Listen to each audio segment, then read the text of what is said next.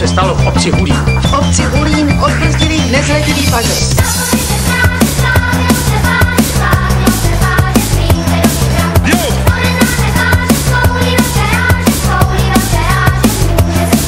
Massive.